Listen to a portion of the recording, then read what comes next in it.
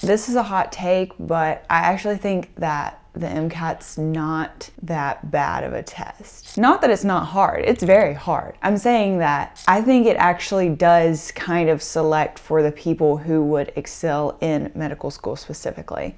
Not necessarily who will be a great doctor, but who will excel in medical school. And I say this because the further I get in my medical education, the more I see the same kind of logic popping up that's required to answer MCAT questions popping up in my medical school tests and in my step exams and even in things like the research passages that I read. This is a test of like logical thinking there, selecting the smartest, most logical people to go into medical school. And that is you.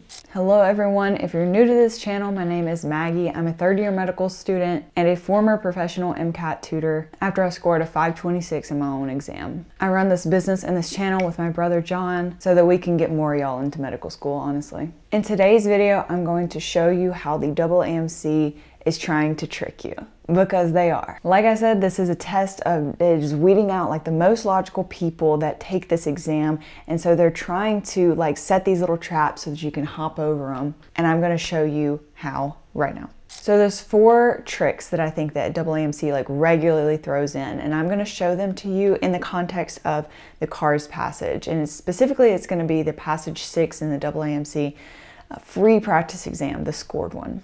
I broke down this uh, passage and these questions on our channel just a few videos ago, so I would really highly recommend that you go back and watch that video so that you're like, know this passage and know these questions and everything, because I'm not going to go back through them. So the first way that I think the AAMC tries to trick you is with a little thing that me and John like to call name dropping. What name dropping really is, is when a question on the MCAT mentions a word or phrase that is commonly used up in the passage to make you think that that answer choice is right. Because especially with these CARS passages, we're always talking about how main idea, main idea, main idea, like that's what you answer questions with. And so when you see an answer choice that has this phrase that was commonly used up in the passage, you're starting to think maybe that's the main idea. So maybe I should just pick that answer choice. A lot of times these answer choices that use name dropping, they may be very attractive, but they may not actually be right. And I'm going to give you an example right here. It's actually the first question in this passage. And I, it, literally, it was just the first one I saw and it uses name dropping. So like, that's how common it is. So if you'll remember the passage, honestly, the main idea is like occupational stress, job stress, blah, blah, blah and A says occupational stressor. And it makes it an attractive answer choice because you want to answer this with the main idea. But that's not the main idea. Like heavy smoking being an occupational stressor. That's not the main idea of this passage. And you have to take the whole context of the question into account when you're choosing an answer choice because you need it to both reflect the passage and to answer the question.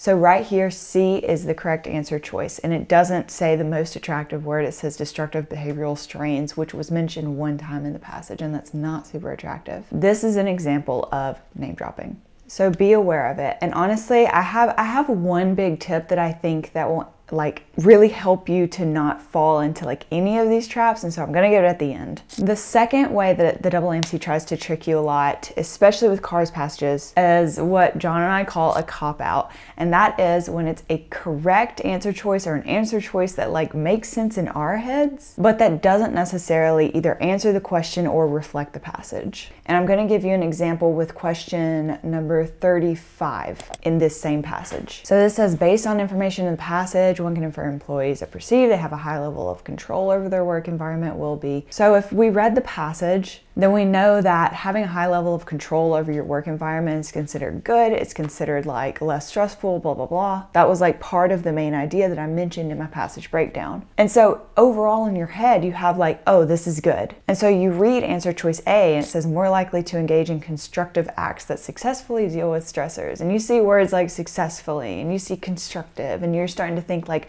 that's a positive outcome. That's probably the answer choice. And no, it's not. B is the correct answer choice. And that is because it directly ties into the passage where they were talking about like threatening workplace, blah, blah, blah. If I just looked at this question without having any of the background information of the passage, I might choose A because in my mind, like B's kind of silly. And i'm thinking high level of control over the work environment is good. And so they're oh they're gonna you know cope better with their stresses and blah blah blah. Like a says And that may be true. Like that's that may be a correct like thought pattern, but it's not what reflects the passage the best. And we have to like have tunnel vision on what is the passage saying. I have evidence from the passage. Do not bring your own like evidence into a Cars passage.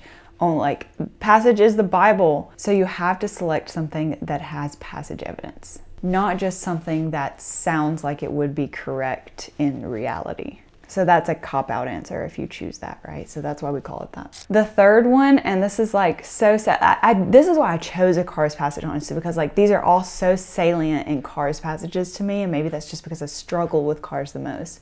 But the third one is the time trap, and that's when they give you some kind of like long winded uh, answer choices or uh, question stem, or they make you do a lot of math, or they make you like look at this chemical equation really closely, or something like that. It's all throughout the MCAT, and it's just so that you can sit there and waste a bunch of time. And I'm gonna give you an example with question 36 in this passage. And like just looking at this, like that's a lot of words. And this isn't even like the longest cars question I could find. It's just the longest one in this passage you're on such a tight timeline with cars and like theoretically you have to answer this question in one minute and like it would take me close to a minute just to read all those things not even just to like think about how they apply to the passage and if they answer the question and yada yada yada and then like you know stress out and like sweat and stuff you have to account for all the time you're going to spend biting your nails in the MCAT. But this one's pretty straightforward. And now I'm going to give you these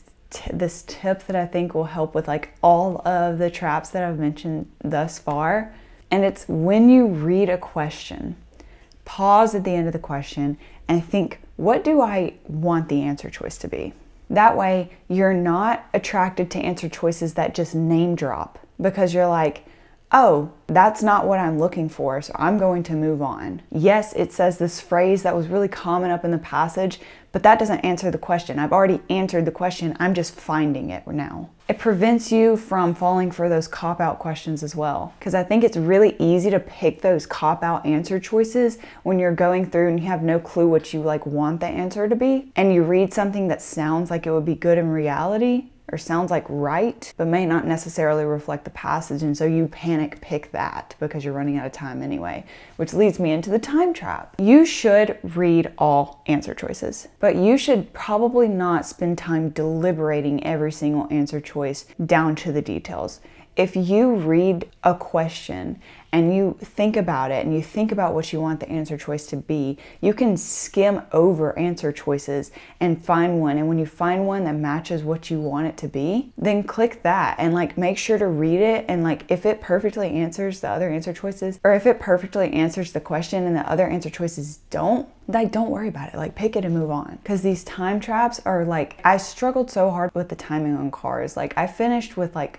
plenty of time in every other section, but on cars, it was like down to the last second was why I was choosing answer choices. So don't let that be you. Be really strict on these timing things and just reading i think that reading the question pausing and answering it for yourself and then just finding that in the answer choices is probably the best way to avoid all of these tricks that I've mentioned so far, as well as just being aware of them, being aware of like, okay, just because it has a, you know, a, a phrase that's in the passage a lot doesn't mean that it's the right answer, yada, yada, the last one, because I told you guys that there was four, I don't have an example for this because honestly, I, feel like maybe the MCAT's moving away from it a little bit, just from like skimming through this practice exam, but I, it still pops up every so often. And that is absolutes. So absolutes, you guys have probably seen this in questions and stuff. It's when like an answer choice will say like words like only or always or never. Those like absolute phrases that like give no wiggle room for anything else but that answer choice to be exactly right. It doesn't necessarily make the answer choice wrong